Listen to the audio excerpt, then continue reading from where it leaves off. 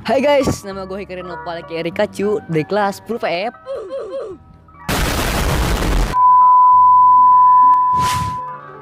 Nah, hari ini gua mau ngasih tahu ke kalian nih bahwa ada satu hal yang paling penting di dunia ini.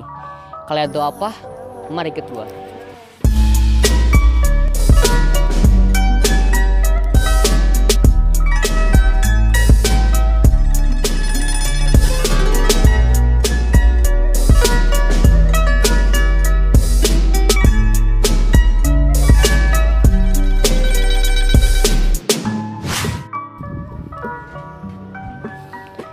Oke, Anda tahu ini apa?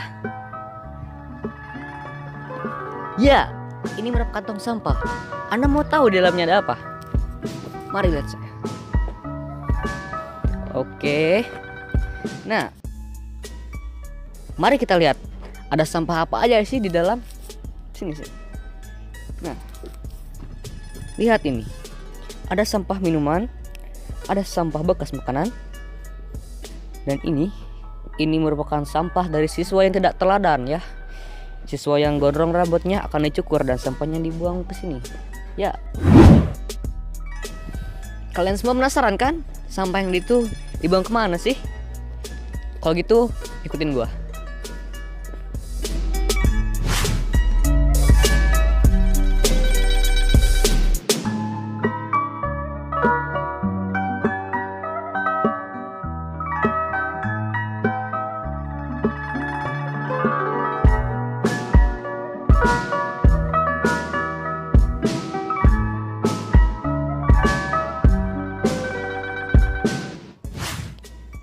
Nah, sampah yang saya perlihatkan tadi kemudian dibawa ke sini. Ke tempat pembuangan akhir atau TPA. Lalu sampah yang telah dibuang ke TPA mereka akan diolah menjadi kompos di rumah pembuatan kompos.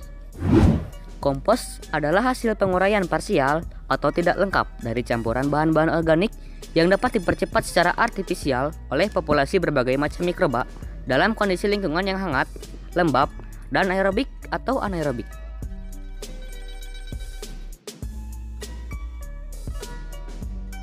Oke, segini dulu aja untuk video hari ini. Gua Rika Cu pamit undur diri. Sampai jumpa.